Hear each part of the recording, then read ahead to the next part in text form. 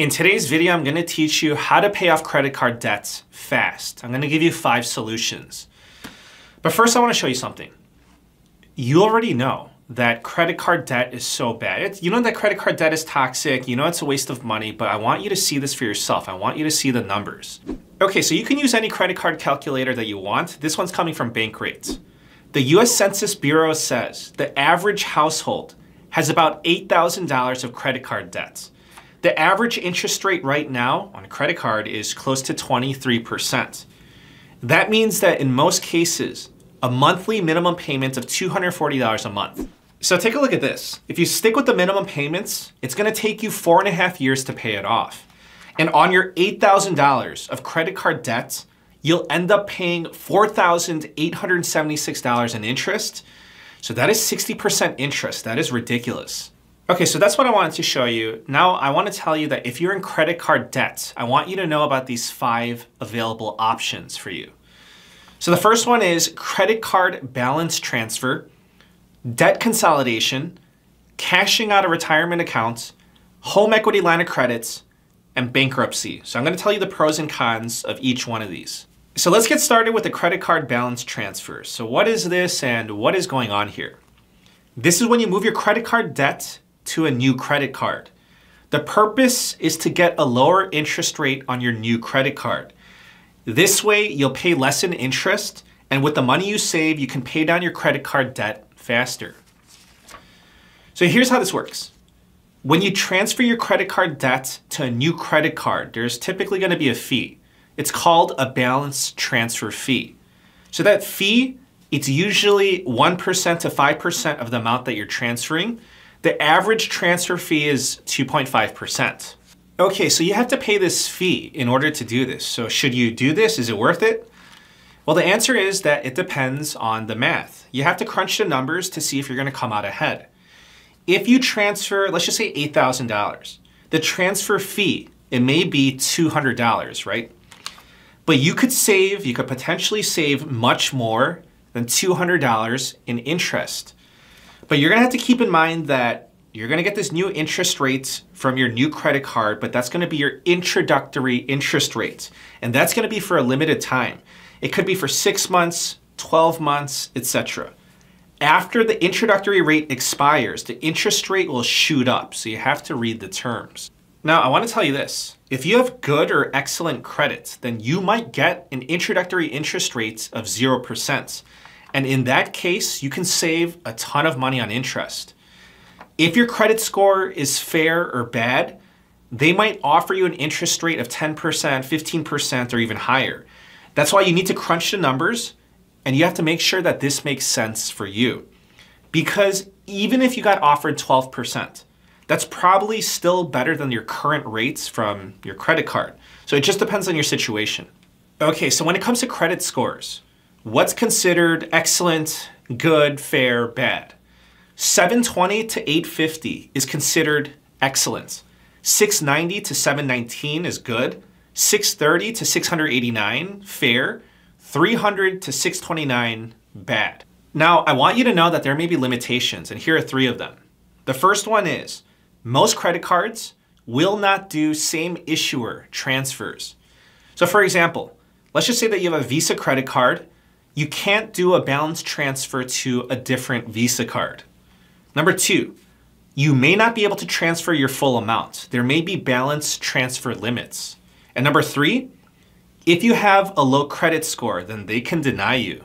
So if you're gonna do this, make sure you shop around. So these are some of the things that you should be comparing the transfer fee, the introductory interest rate, how long that introductory rate will last, the regular interest rates, annual fees, and any perks. So we're talking about cashback rewards or points. Now, I wanna tell you how this affects your credit score. Transferring your balance does not hurt your credit score, but when you apply for the new credit card, that does hurt your credit score. When you apply for a credit card, they do a hard inquiry and that's gonna stay on your credit report for two years. But if you pay off your credit card debt faster, then that will improve your credit score. Now let's move on to another option. So this one involves cashing out your retirement accounts to pay your credit card debts, and this could be your 401k, 403b, or an IRA. The benefit of doing this is that with the money that you cash out, you can pay off your credit card debts and you'll pay less interest. And that could be a lot of money that you save. And taking money out of your retirement plan will not hurt your credit score. If you pay off your credit card debt, your credit score will probably go up. So those are the good things, but you need to know about the consequences. So here are the drawbacks. First, this is going to be a setback for your retirement accounts because you're going to have less money invested for growth and compounding. Second, if you are not of qualified age, then the money that you take out will be considered an early withdrawal, and you may be subject to a penalty. So there are certain exceptions, but generally you will be subject to a 10% early withdrawal penalty. So third, in most cases with a 401k or 403b, you will be subject to tax.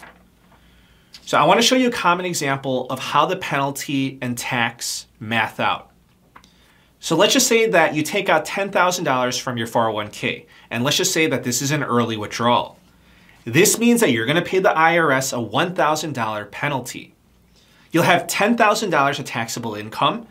If you're in the 22% tax bracket, that's $2,200 lost to the IRS in tax.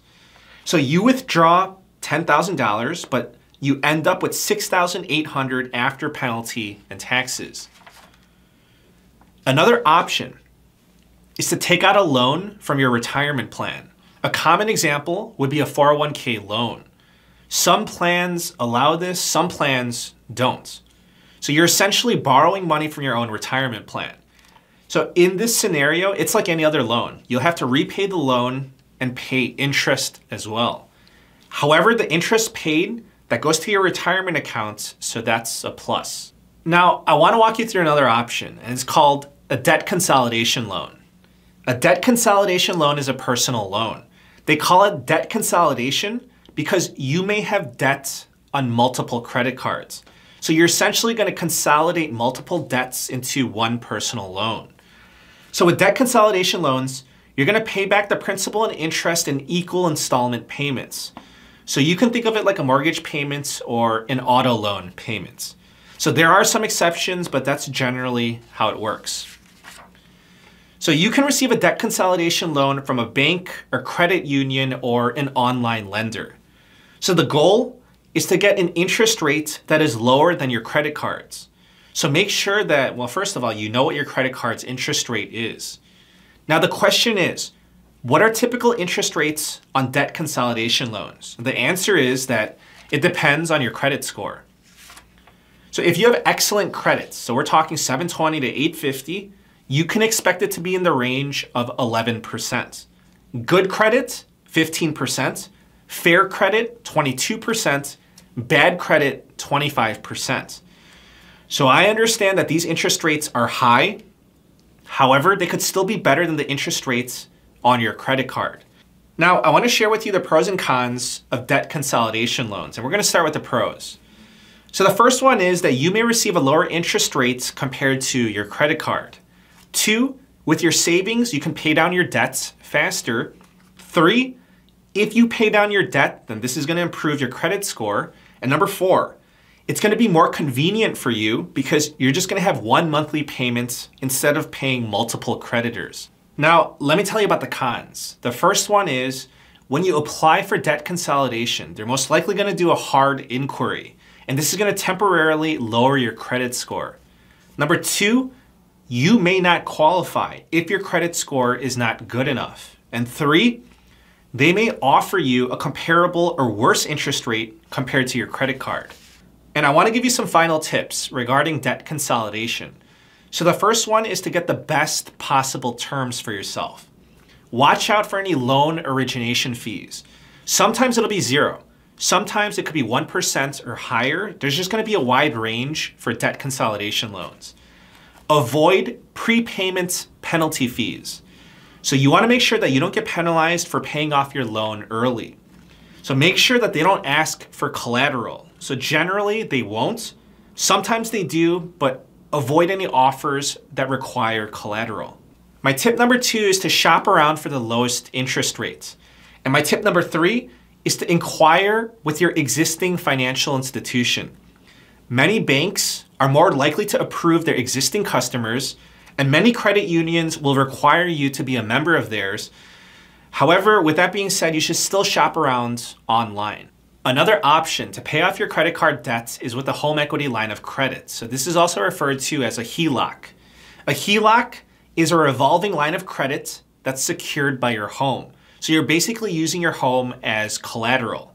So essentially, it's like taking out a mortgage or a second mortgage on your home. And with that money, you pay off your credit card debt. There are pros and cons to doing this. So here's the good thing if you're using your home as collateral, then this is going to be less risky for your lender. Therefore, a lender will typically give you an interest rate that is lower than your credit cards. However, the bad thing is that, well, this is risky for you because if you default on your HELOC payments, then your home will be at risk. If you can't make the payments, then you're going to be facing foreclosure and you could lose your home. If you'd like to look further into a home equity line of credit, then you can apply for a HELOC at a bank, a credit union, or online. But to qualify, you have to have equity in your home. Now let's talk about option number five, filing for bankruptcy. So this legal process, it can wipe out some or all of your debts and give you a fresh start. But I want you to know what's true and what's false. So you should only use bankruptcy if you really need to. A common example would be if there's no hope of you paying back your debt, you can't get any new loans, you've defaulted, the debt collectors are calling you, they're suing you, they're garnishing your wages, then you should consider bankruptcy, but as a last resort. I want you to know that there are several types of bankruptcy, but we're going to cover Chapter 7 and Chapter 13. In this situation, your goal of filing bankruptcy is to wipe out your credit card debts along with any other personal liabilities that you might have. If you filed Chapter 7 bankruptcy, the success rate of eliminating your credit card debts is around 95%. However, you need to qualify. If you want to file for Chapter 7 bankruptcy, then you need to meet the standards. And that's going to depend on your income and the value of your assets. So the income test compares your income to the median income in your state, and it's going to take into consideration your family size. If you make too much money or you have too much in assets, then you're not going to qualify for Chapter 7 bankruptcy. In that case, you're going to have to go at Chapter 13. And Chapter 13 bankruptcy, that is a debt repayment plan. So let me tell you the differences between Chapter 7 and Chapter 13. I'm going to give you the pros and cons.